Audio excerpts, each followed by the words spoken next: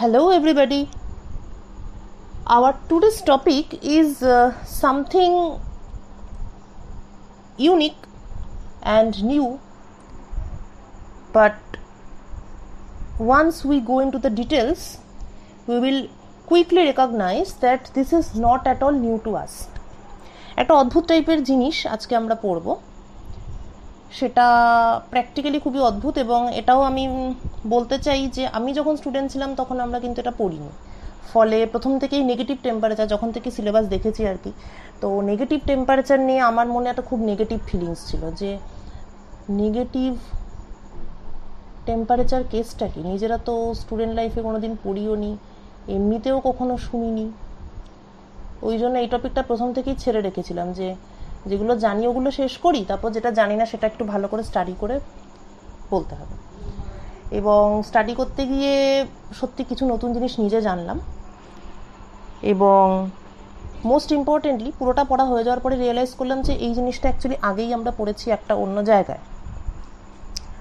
সেটা just once I complete this lecture you yourself will be will be able to identify so negative temperature প্রথমে let's okay, so if we want to understand how temperature is negative আচ্ছা এবার এখানে আবার একটা কথা বলি যে এই this negative temperature doesn't mean minus thirty degree Celsius for example okay this negative temperature means negative in the true sense that is temperature is less than zero kelvin তো মানে এরকম তো তোদের মনে হতেই, নিশ্চয়ই মনে হচ্ছে যে জিরো কেলভিনের কাছাকাছি যেতেই লোকের মাথা খারাপ। তা আবার জিরো কেলভিনের নিচে আবার কি করে হয়ে গেল টেম্পারেচার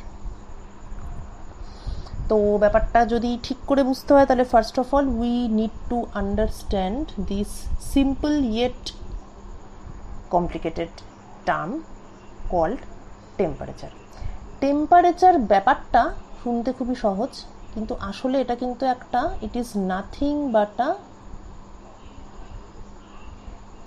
parameter ঠিক আছে? আসলে কিছু কিছু জিনিস আমরা ছোট থেকে এতই বেশি শুনি যে আমরা সেগুলোকে একটু টেকেন ফর গ্র্যান্টেড করে নিই। মানে টেম্পারেচার এটা নিয়ে আর ভাবার কী আছে?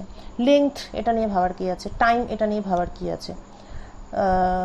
যেমন এক্স টাইম এই পজিশন এবং টি হচ্ছে টাইম পজিশন আর টাইম তো অ্যাবসোলিউট ছোট থেকে এমনই শুনে এসেছি যে পজিশন আর টাইম পজিশন আর টাইম অ্যাবসোলিউট যে হঠাৎ করে যখন শুনলাম যে পজিশন আর টাইম অ্যাবসোলিউট নয় they are relative to relative to the observer যখন শুনলাম যে position and time can be something for observer A and different one for observer B তখন যেমন খুবই অবাক হয়ে গেছিলাম।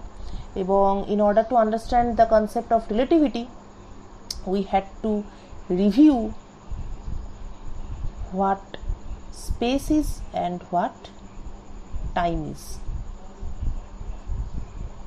তো বলতে চাইছি যে এমন অনেক কিছু আছে আমাদের ডেইলি লাইফে it is part of our daily life which is so simple and yet not so simple ধরে নিই আমরা অনেক কিছু, কিন্তু কোনো কোনো সময় এমন একটা সিচুয়েশন আমাদের সামনে আসে যখন আমাদের আবার ঘুরে তাকাতে হয় যে we have to review certain concepts যেগুলো আমরা মনে করি যে আমরা সেগুলো সম্পর্কে সব জেনে গেছি। এবং রিভিউ করার পরে দেখতে পাই যে না, আসলে যতটা জানি ভাবছি ততটা আসলে জানি না। তো এই ব্যাপারটা অনেকটা তাই। টেম্পারেচার ইজ আ প্যারামিটার যদি লাইভ ক্লাস হতো তাহলে তোদেরকেই জিজ্ঞেস করতাম যে হোয়াট ইজ টেম্পারেচার অ্যাকচুয়ালি যাক, এখন মোটামুটি ইমাজিন করে নিচ্ছে যে জিজ্ঞেস করলে তোরা কী বলতিস। So basically there are two types of definition of temperature one is thermodynamic temperature কীরকম ব্যাপার it is thermodynamic temperature is something defined by zeroth law ঠিক আছে জিরোথ কী বলেছিল temperature temperature is uh, such a parameter which signifies whether there will be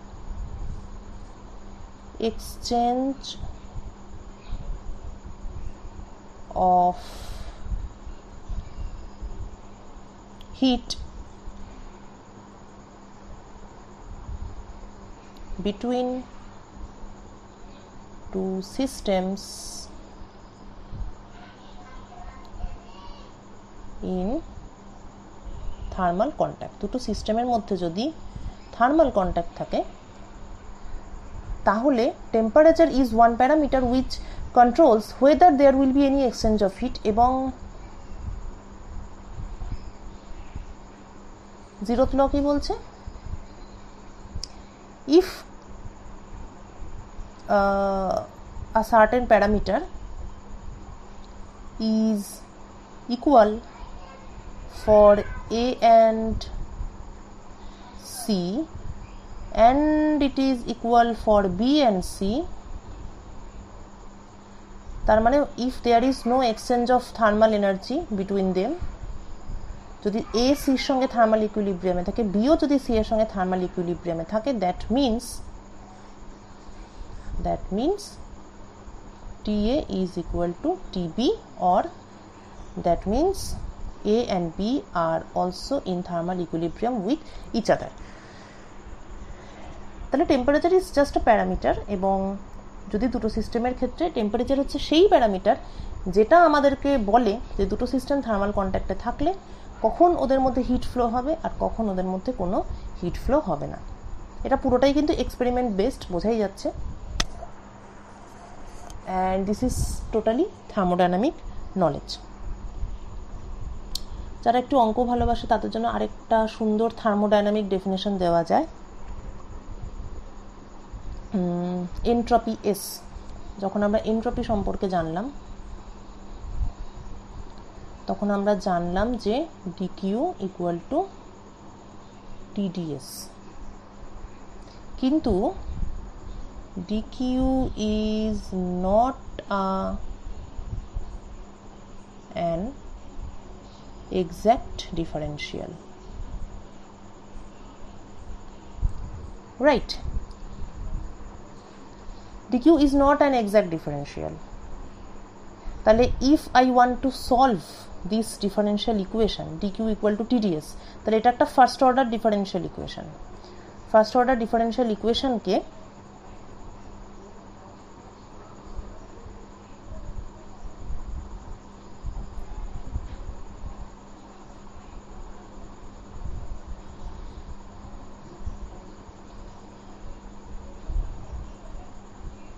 this is a first order differential equation এবং if we want to solve this first order differential equation কীভাবে করতে হয় একটা integrating factor লাগে IF সেই integrating factor দিয়ে গুণ করতে হয় গুণ করার ফলে কি হয় it becomes we get an exact differential so integrating factor for this first order differential equation is 1 by t গুণ করলে পাই D Q by T equal to T S and now this D S is an exact differential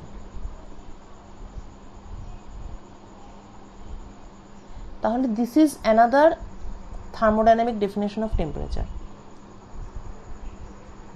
which is temperature is nothing but the integrating factor for the uh, first order differential equation.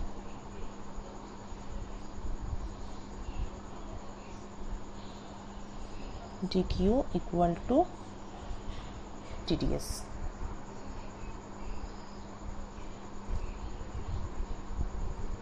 clear এই গেল thermodynamics thermodynamic definition and next হচ্ছে আর কীভাবে আচ্ছা এটা হচ্ছে basically it was a macroscopic definition right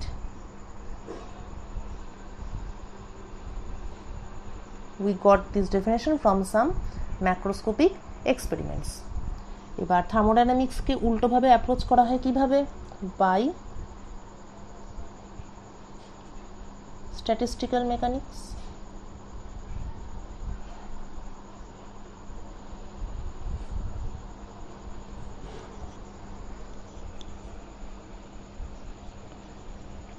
so this a microscopic approach তাহলে টেম্পারেচারের যেমন একটা থার্মোডাইনামিক ডেফিনেশন আছে, সেরকমই there is a statistical definition also তাহলে what is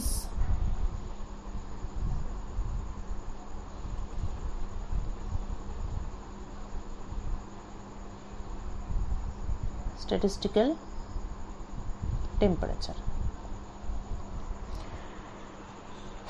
Define তো বেশ অনেক রকমভাবে করা যায়, কিন্তু most fundamental statistical definition of temperature is by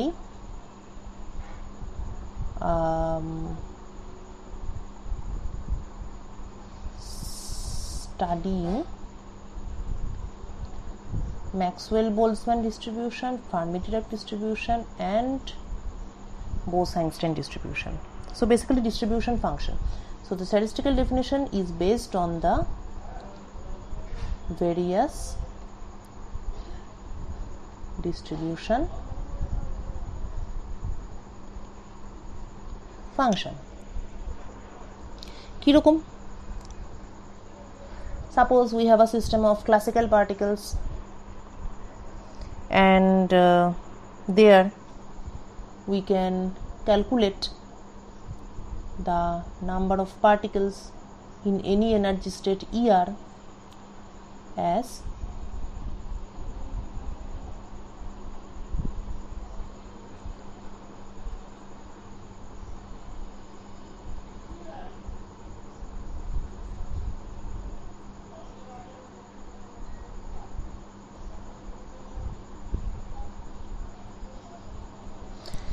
যেখানে এন নট হচ্ছে total number of particle so this is Maxwell Boltzmann distribution এবং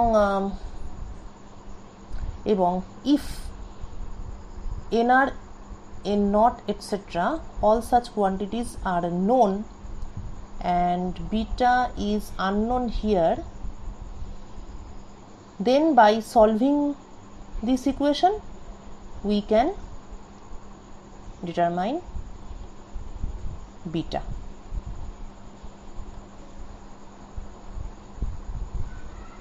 So that gives us the statistical temperature of the classical system of particles একই রকমভাবে আমার হাতে যদি থাকে gas of electrons.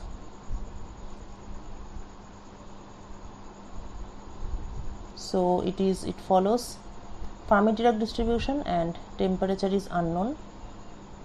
We do not know the temperature but we know everything else. Suppose for example we know the distribution curve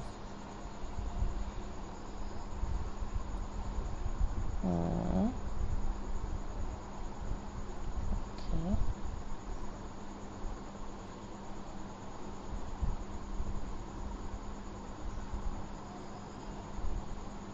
so suppose at some so this is t equal to 0 kelvin this is at t equal to 0 kelvin and at some unknown temperature t1 we have measured that the distribution is something like this. By computer simulation we can determine that at what temperature the distribution will behave like this. So that is the statistical temperature of this gas of electrons. এবং যদি তোমাদের এটা মনে হয় যে আদৌ এই সমস্ত আমরা কেন পড়ছি মানে এগুলোর কি অ্যাপ্লিকেশন আছে? সিম্পলি টেম্পারেচার তো আমরা বরাবর জেনে এসেছি যে থার্মোমিটার ধরো temperature মাপো।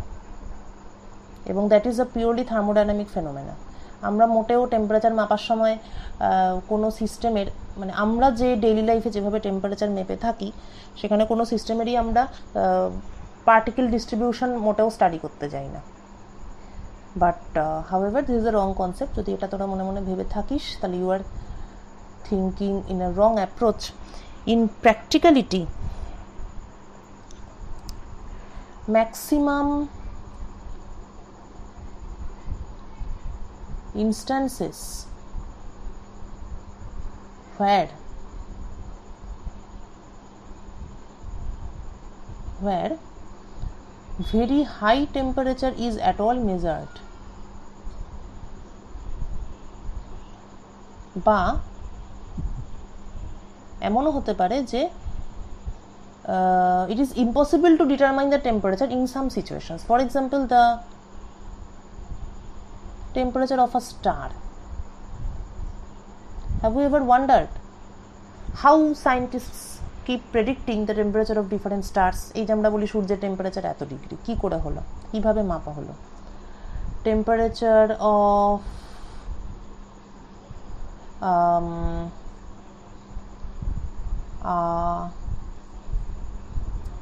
extremely heated iron rod how at all this type of temperature are measured yes you are guessing it right the temperature is measured by studying their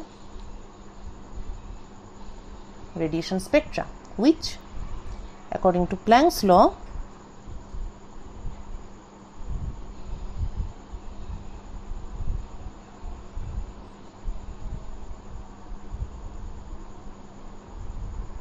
eta.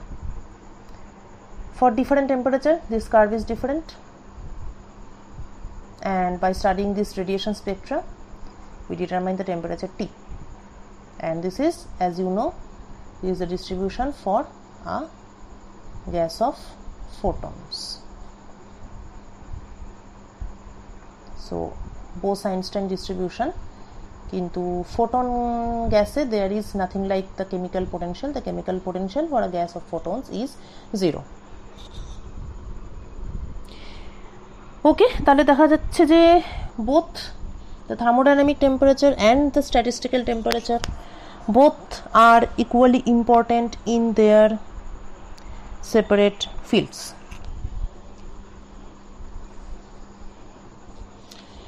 এবার মজার ব্যাপার হচ্ছে যে in thermodynamic temperature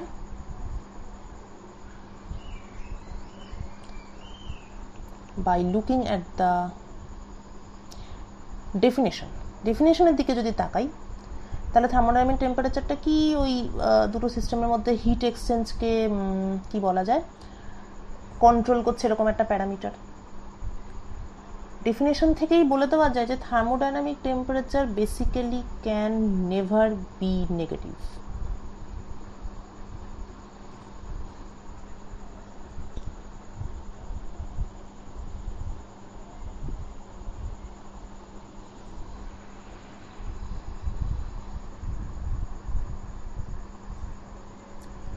কিন্তু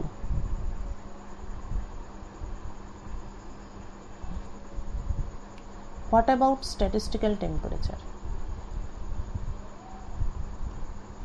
আবার একটু ডেফিনেশনের দিকে তাকাই। স্ট্যাটিস্টিক্যাল টেম্পারেচারটা দেখা যাচ্ছে যে অনেকটাই সামহট ম্যাথমেটিক্যাল ডেফিনেশন ঠিক আছে?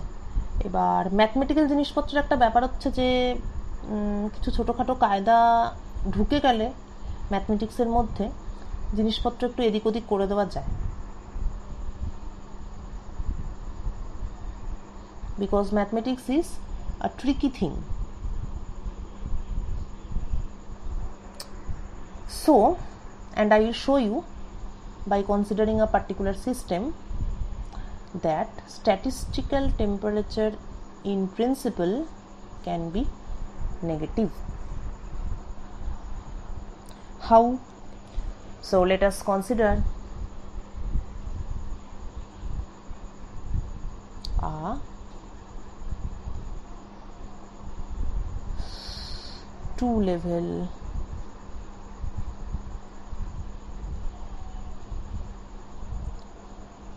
system.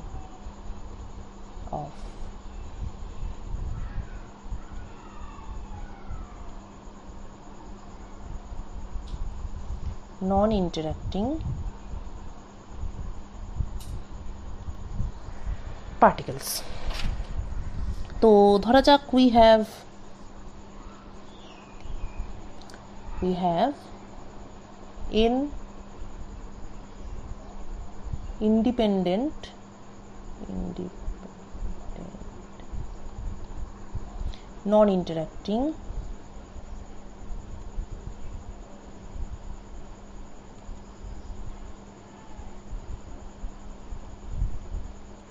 spin half particles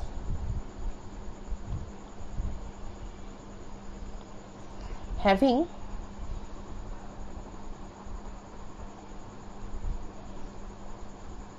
two energy levels কি করে হলো two energy levels it's because the system is subject to magnetic field H সুতরাং when spins are aligned to the magnetic field the energy is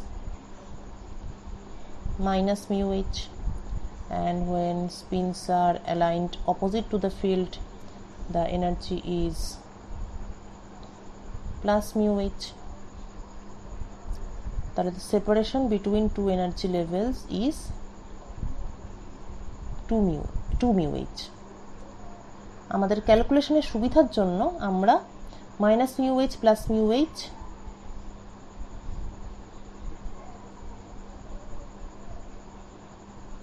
এরকম energy level না ধরে আমরা energy লেভেলের রেফারেন্সটাকে change করে দেব, করে আমরা জিরো এবং টু মিউ এইচ এই দুটো এনার্জি লেভেল ধরব। মানে ওই এনার্জি লেভেলের রেফারেন্সটাকে মিউ এইচ করে উপরে তুলে দিলাম।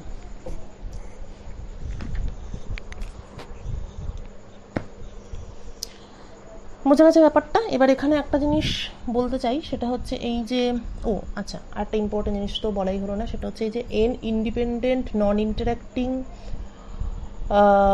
spin half particles এই spin half পার্টিকেলগুলো they are fixed at certain lattice sites.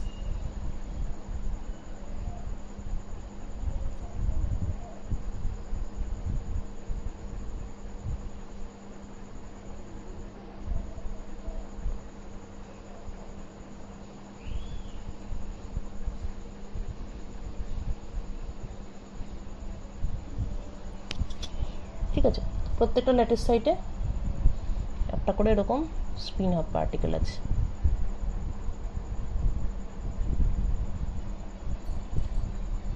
তার মানে system uh, basically we have two different um, systems coinciding with each other one is the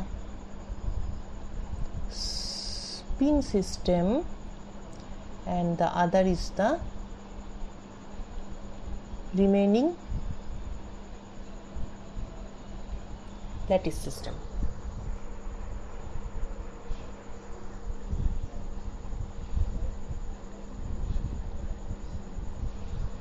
And what we assume is the thermal contact between the spin system and lattice system is not very good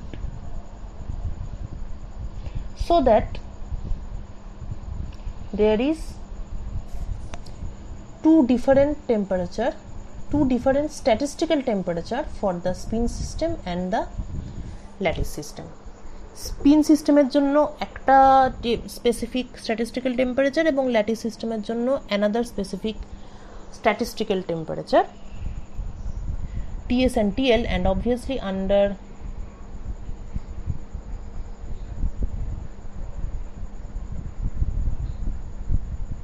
thermal equilibrium TS is equal to TL কিন্তু যেহেতু the thermal contact is not very good so very important, since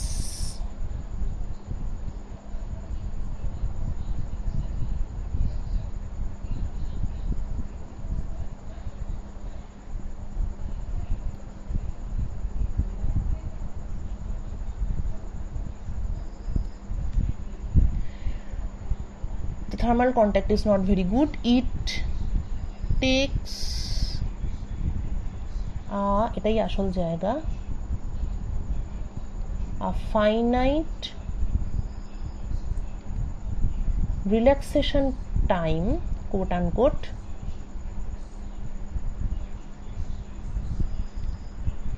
uh, to establish thermal equilibrium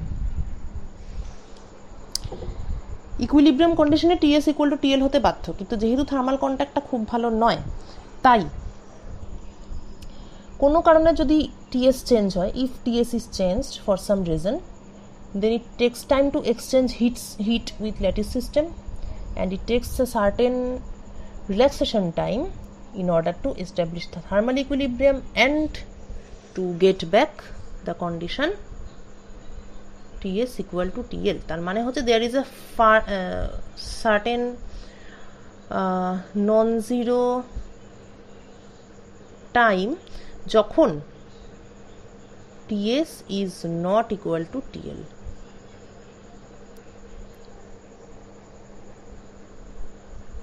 অল্প কিছু সময়ের জন্য T S আর টিএলটা সমান নাও হতে পারে কোনো একটা কারণে if the spin system is destabilised TS changes and for a finite non zero time TS may not be equal to TL this is the fundamental thing about this the concept of negative temperature এবং যেটা important কথা আমি বলবো সেটা হচ্ছে এটা কিন্তু আচ্ছা this system is called ideal paramagnet the system is called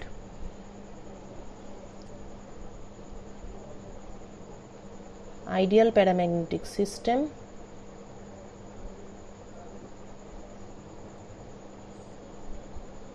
এবং এটা কোনোভাবেই it is not same as Pauli paramagnet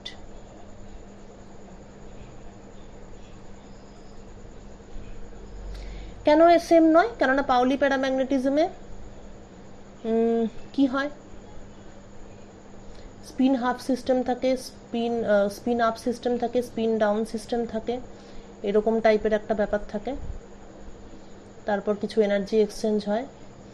what ever it is কিন্তু যেটা মূল ব্যাপার সেটা হচ্ছে there is the Pauli exclusion principle and there is overlap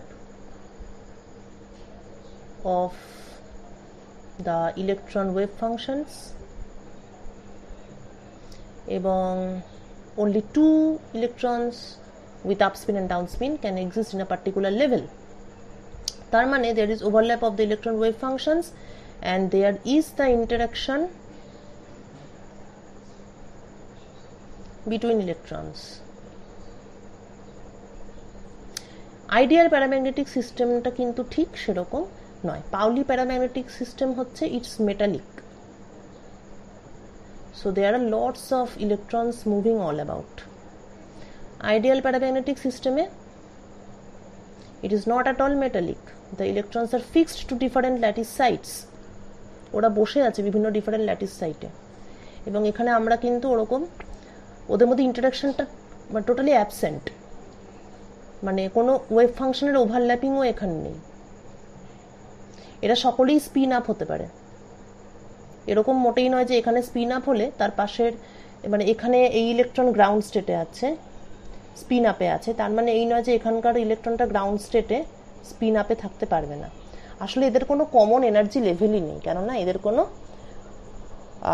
interaction নেই। মানে আনলাইক দিস ওকে এখানে তো ওভারঅল এনার্জি মানে ডেন্সিটি অফ স্টেটস ডিস্ট্রিবিউশন এবং each energy level is being filled up by two two two electrons এখানে কিন্তু ব্যাপারটা সেরকম না। They are not interacting with each other so there are two definite energy levels and electrons can populate them. They do not interact with each other at all.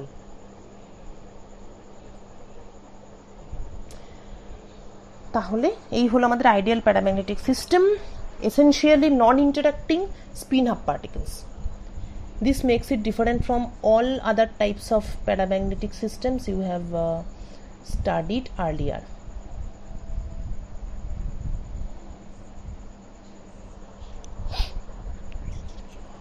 Okay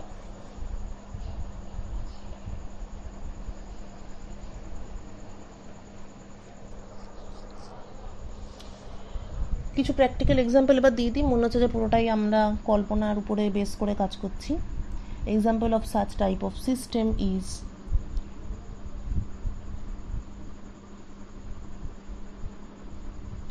cerium magnesium nitrate or CMN.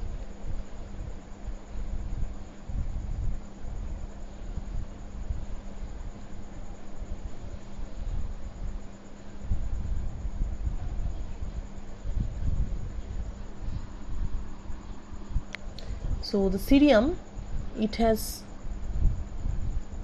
net spin it is a spin off system and it is fixed in separate lattice points of the crystal এছাড়া another example is solid helium 3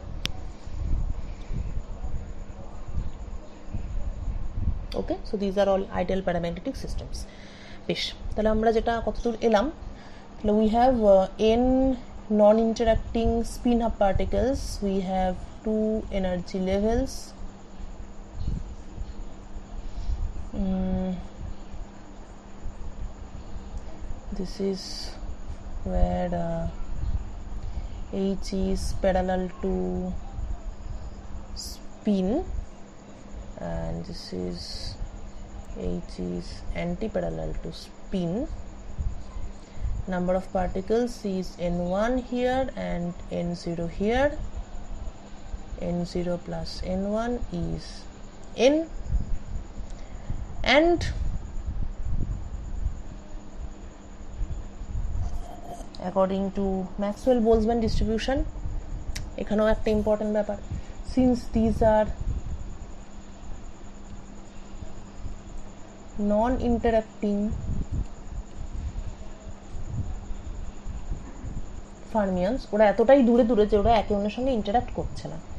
যেহেতু ওরা অনেকটাই দূরে, তাহলে আমরা জানি যে if the mean separation is much much greater than the de Broglie wavelength there is no wave function overlap সুতরাং this is classical limit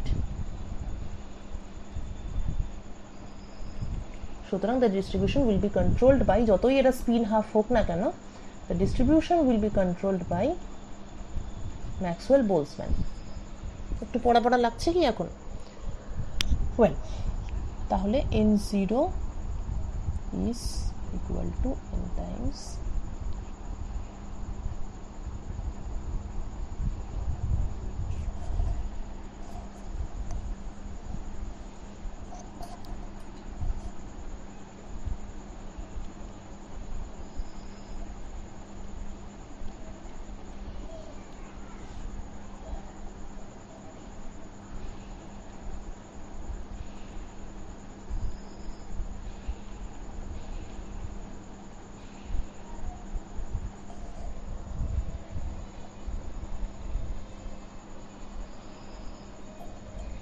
so this is our n0 and n1 and uh, from that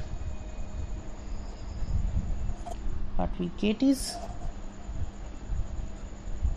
n1 by n0 is equal to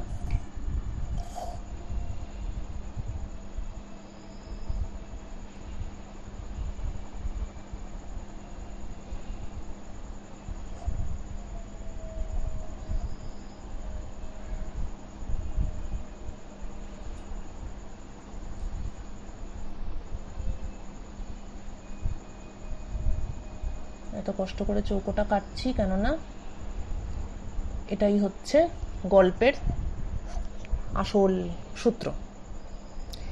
So N one by N zero E zero তারপর minus two mu H by K T এইবার আমি মনে করি যে আমি হঠাৎ করে একটা কাজ করলাম। সেই কাজটা হচ্ছে I just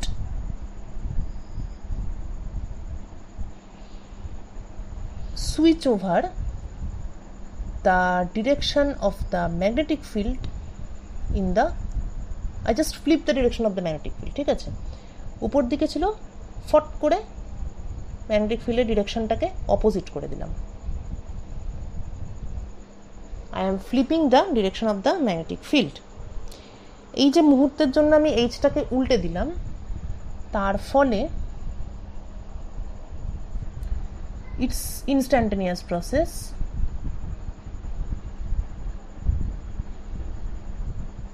তার ফলে in within a moment this will become n one by n zero equal to e to the power H উল্টে গেছে to mu H by kT within a moment right কিন্তু this is not a stable condition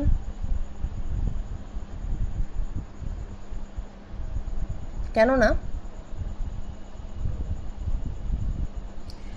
actually H উল্টে দিলে কি হবে? যদি if I reverse my direction of magnetic field তাহলেও তো আমার, এবার এইটা আমি ভুলে যাই। Forget it forget all about this ঠিক আছে? জাস্ট এটা ভাব যে ম্যাগনেটিক ফিল্ড প্রথমে আপ ডিরেকশনে ছিল, তখন sorry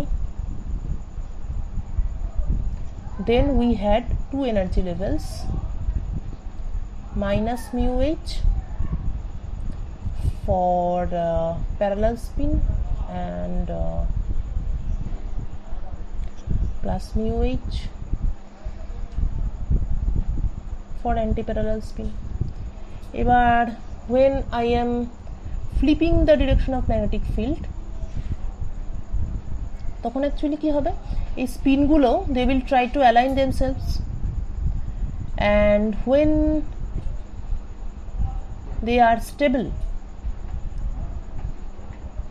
তখন কি হবে? epsilon 1 will become plus mu h and epsilon 2 will become minus mu h. কেননা তখন যারা এরকম ভাবে ছিল, তাদের তখন এনার্জিটা বেশি হয়ে যাবে because it is anti parallel আর যারা এরকম ভাবে আছে তাদের এনার্জিটা কম হয়ে যাবে ইট ইজ প্যারালাল ক্লিয়ার তাহলে ইন দ্য স্টেবল কন্ডিশন যখন ব্যাপারটা স্টেবল হবে মানে প্রথমে ছিল এন জিরোতে মোর পার্টিকেলস এন ওয়ানে মানে এপসিলন ওয়ানে লেস পার্টিকেলস কিন্তু যখন when I am flipping the magnetic field তখন কিন্তু N zero will have I mean epsilon zero will have less particles and epsilon one will have more particles clear দেখ, এই পর্যন্ত ঠিকঠাক করে বুঝেছিস কিনা। যখন আমি ম্যাগনেটিক ফিল্ডের ডিরেকশনটা উল্টে দিচ্ছি তখন এনার্জি লেভেলের পপুলেশনটাও উল্টে যাবে। কেননা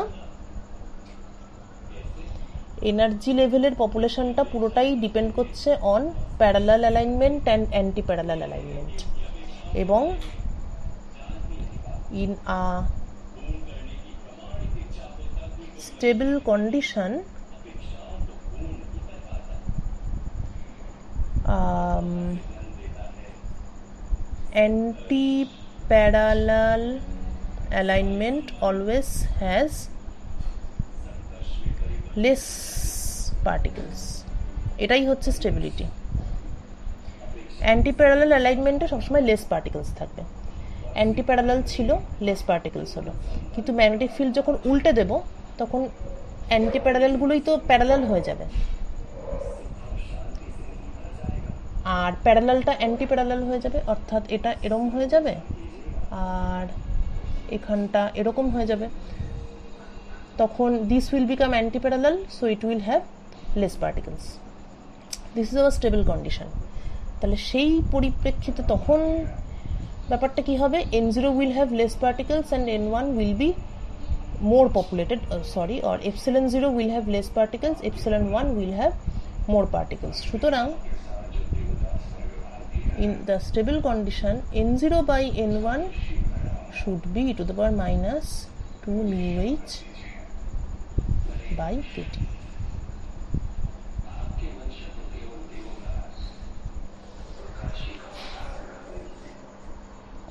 পুরোটাই প্যারালাল অ্যান্টি প্যারালালের ব্যাপার parallel configuration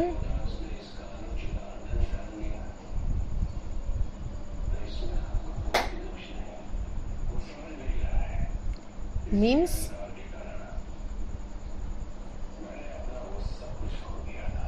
smaller energy so more particles antiparallel means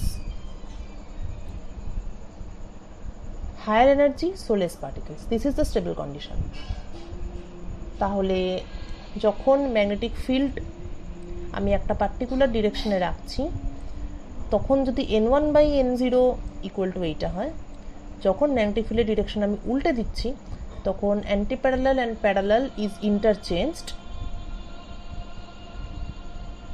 মানে যখন আমি একটা পার্টিকুলার ডিরেকশনে রাখছি, তখন তো epsilon one greater than epsilon zero কিন্তু যখন I am flipping the direction of magnetic field তখন কিন্তু epsilon one is less than epsilon zero সুতরাং one is less than n zero and here n sorry here n one is greater than n0 and here n1 is less than n0 এটা যেটা বলছি, সেটা কিন্তু পুরোটাই স্টেবিলিটির গল্প stable configuration কিন্তু ইমিডিয়েটলি এটা তো একটা ইনস্ট্যান্টানিয়াস প্রসেস এই যে স্টেবিলিটিতে আসবে, এটা কিন্তু this is not an instantaneous process this needs a relaxation time আগেই আমরা এটা নিয়ে অনেক গল্প বলে নিয়েছি যে spins need a relaxation time to interact with the lattice system and go back to a stable state এই রিল্যাক্সেশন টাইম অতিক্রান্ত হওয়ার আগে just immediately after the switching of the magnetic field for a moment n1 by n0 is e to the power 2, 2 mu h by kt or uh, uh, just a minute.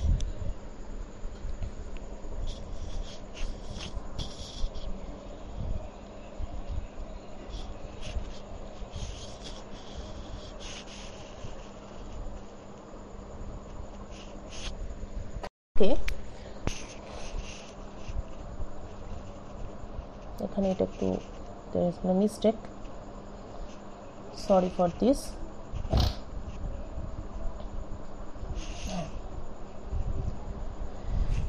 হ্যাঁ তো sorry for a little bit of error in my argument we are switching the direction of the magnetic field এবং as a result, the change in the system will be something like this. কিন্তু there is a certain relaxation time. ধরা যাক T S কিন্তু T S সময়ে অতিবাহিত হওয়ার আগে, অর্থাৎ বিফোর দ্য রিল্যাক্সেশন টাইম বা within the time interval of the relaxation time সেই সময়ের জন্য এই রিলেশনটাই ভ্যালিড মানে বোঝা গেল ব্যাপারটা when I am switching when I am flipping the direction of the magnetic field when I am doing this, when I am switching over the direction of the magnetic field, the particle distribution changes, but it takes a time. It takes a time ts. তাহলে before TS this relation is still valid so that means n0 by n1 is equal to e to the power 2 mu h by kt তার মানে t equal to t less than ts A n0 by n1 is e to the power 2 mu h by kt and t greater than ts A n0 by n1 is e to the power minus 2 mu h by kt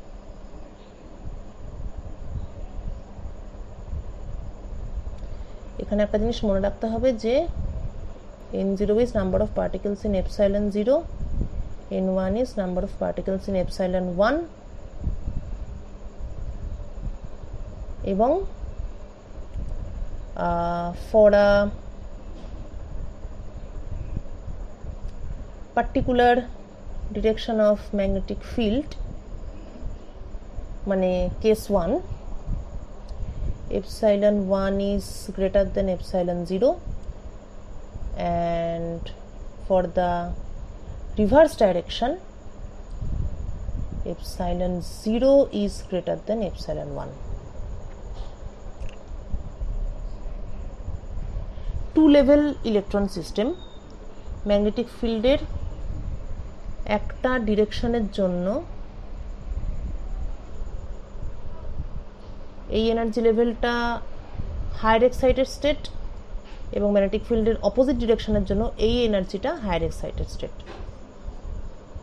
ওকে তাহলে যখন epsilon one was higher level তখন this was valid যখন epsilon not is higher level তখন this is valid but in the mean time during the relaxation time this relation was valid তার মানে T less then TSA this is two mu H by kT T greater than TSA it is minus two mu H by kT কিন্তু এবার point to be noted is এই যে এক্সপ্রেশনটা before the relaxation time is over এই এক্সপ্রেশনটাই কিন্তু একটা গন্ডগোল আছে। কেননা, এখানে ম্যাগনেটিক ফিল্ডের ডিরেকশনটা উল্টে গেছে, তার মানে already we have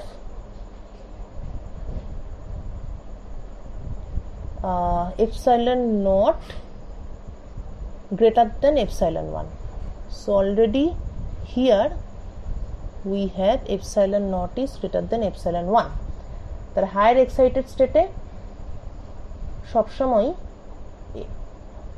com particle থাকার কথা অ্যাকর্ডিং টু বোলসম্যান ডিস্ট্রিবিউশন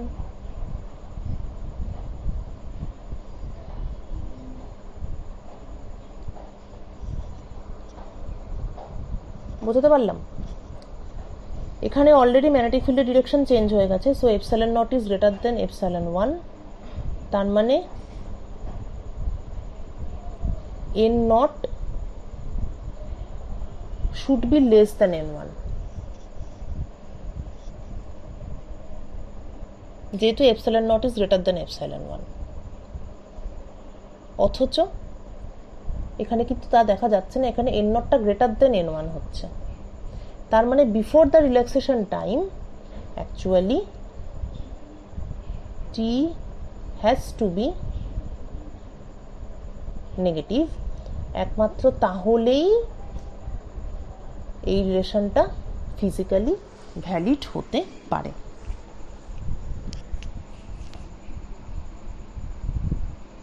আচ্ছা আমি দেখতে পাচ্ছি যে এখানেও আমি এই ব্যাপারটা আবার উল্টো করে দিয়েছি। এফসাইলন ওয়ান যদি গ্রেটার হায়ার স্টেট হয়, তাহলে n one will be smaller than this. Epsilon not যদি হায়ার হয়, তাহলে n not will be smaller than n one. ঠিক আছে, খুব কি ঘেটে গেল? তাহলে আরেকবার একটু ভালো করে বলতে হয়।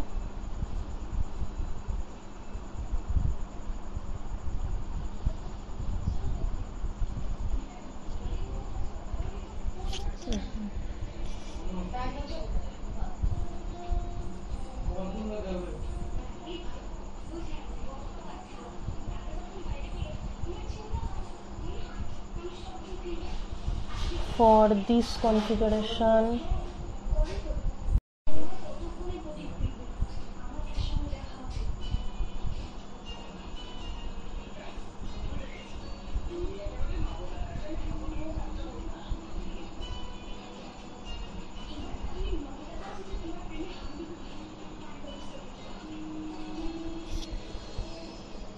এই হচ্ছে situation this is direction of the magnetic field কিন্তু যেই সুইচটা করলাম ইন বিটুইন যে টাইমটা আছে ইন বিটুইন যে টাইম তখন this condition does not change তাই ইন বিটুইন টাইমটাতে n zero greater than n ওয়ানই থাকে, যদিও এটা হওয়া উচিত নয় n zero less than n one হওয়া উচিত। অথচ এই জিনিসটা হচ্ছে। তাহলে এখানে টেম্পারেচার পজিটিভ এখানেও টেম্পারেচার পজিটিভ এটা আমাদের ম্যাক্সওয়েল বোলসম্যান ফ্যাক্টরের সঙ্গে ম্যাচ করছে জিনিসটা। কিন্তু এখানে জিনিসটা ম্যাক্সওয়েল বোলসম্যানের সঙ্গে ম্যাচ করছে না। তাহলে এটাকে ম্যাচ করাতে গেলে আমাকে একটাই জিনিস করতে হবে, আমাকে we have to consider that the temperature is negative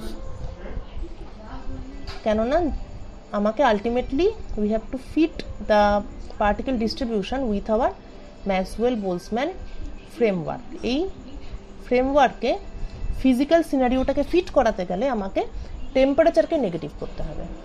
In order to fit the reality with our theory clear so this is all about negative temperature এবং now I will leave you a question এই negative টেম্পারেচারের জিনিসটা তোরা already আগে পড়েছিস, কোথায় পড়েছিস?